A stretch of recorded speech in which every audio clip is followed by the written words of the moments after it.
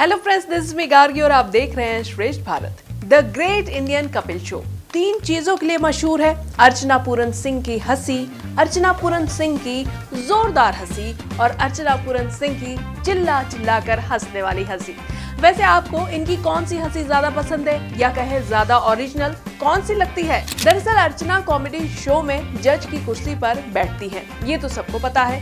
उन्होंने हाल ही में बताया कि कैसे उनके पास दुनिया की सबसे अच्छी नौकरी है और वो हर समय हंसती रहती है। अर्चना ने यह भी बताया कि कैसे उन्हें शो में खराब चुटकुलों पर नकली हँसी के लिए आलोचना का भी सामना करना पड़ा था। हाल ही में एक मीडिया इंटरेक्शन में अर्चना ने अपने काम के बारे में बात की, जो कि हंसना है।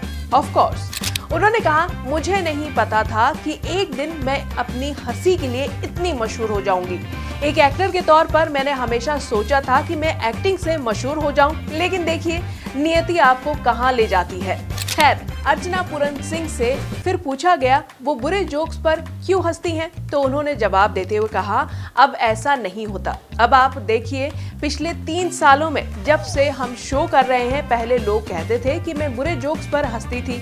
मैं इससे खुश नहीं थी। दरअसल तब क्या होता था, अगर किसी जोक में पंच नहीं था तो मेकर सोचते थे कि अगर हम अर्चना की हँसी का इस्तेमाल करेंगे तो वो पंच उठ जाएगा। लेकिन ये काम नहीं करता था। इस तरह वो पंच नहीं उठा, लेकिन मैं ही बैठ गई, क्योंकि लोग सोचने लगे, ये औरत पागल है, फालतू में हंस रही है। लेकिन अब अर्चना तभी हंसती हैं जब उन्हें लगता है कि जोक मज़ा किया है। और वैसे भी अभी वाले चुटकुलों में काफ़ी दम है। तभी तो अर्चना अपने आप ही हंस पड़ती हैं। और वैसे भी कपिल तो नंबर वन है ही, और उनकी पूरी टीम भी। फ़िलहाल the great Indian Kapil show को लेकर लोग बेहद एक्साइटेड है, ताकि हंस हंस कर वो अपनी बोरियत को दूर कर सके। Well that's it for now बाकी ऐसे ही लेटेस्ट न्यूज़ से अपडेटेड रहने के लिए सब्सक्राइब करें श्रेष्ठ भारत को।